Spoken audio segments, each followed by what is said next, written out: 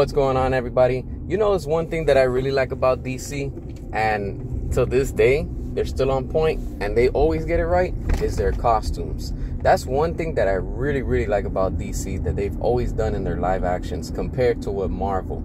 Yes, what Marvel has done with their costumes is also nice, but I prefer DC more, and you know, like it's just more details that they put into their costumes. So make sure to hit the subscribe. I really appreciate everybody. The channel has been doing well, growing slowly. I really appreciate everybody's been showing the support and all that good stuff. Now, when it comes to all the costumes, everything started off for me. You know, getting into it was with uh, Batman 1989. And just seeing when Keaton had those costumes up to what we have now is awesome because the costumes just improve each time more and more.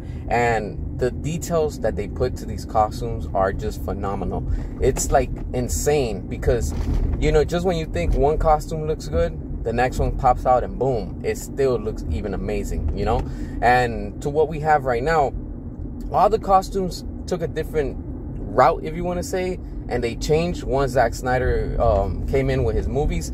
And, you know, with, with Man of Steel, it's just something about it that it just took a different course. And when you look at it, the style that he used for Man of Steel, right? For Batman versus Superman, for Wonder Woman, up to right now what we have, you know, with Blue Beetle, it's incredible. You know, like these costumes are just amazing, you know, and it's like that tone, it all, it's just, it's lined up beautiful, you know?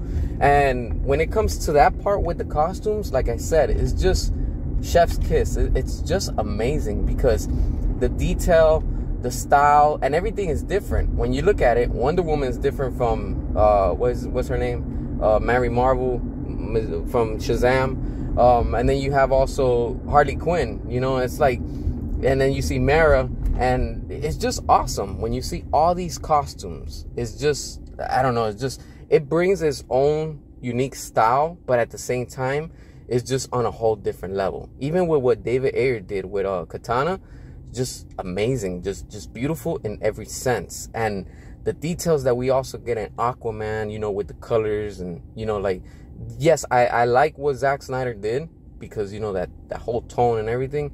But then when you see what we get in Aquaman, it's just wow, it's incredible. And even when it goes to uh, Robert Pattinson's Batman, his costume looks looks awesome. You know, I don't like the actor because it's just not for me Batman, but his costume it's like whoa, like it's very very nice, you know.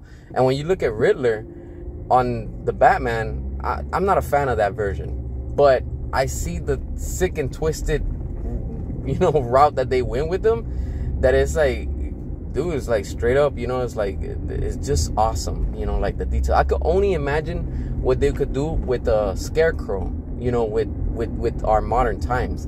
That's why I like what Christopher Nolan did when he did with the Dark Knight Scarecrow and the costumes, and it was just all awesome. It was very, very amazing. And that's one thing, being as a DC fan, that I truly, truly enjoy. And I can say all of the costumes are amazing. It doesn't matter what universe it is, but when you look at it, that's where I can say as a DC fan, wow, they're all on point. What are your thoughts? Which one is your favorite? Which ones are your favorite? Or whatever do you is there a specific style that you like within the DCU? Um, you know, overall within the universe of, you know, live actions when it comes to the costumes and all that stuff. And as always, make sure to hit the subscribe. Truly appreciate that. And until next time.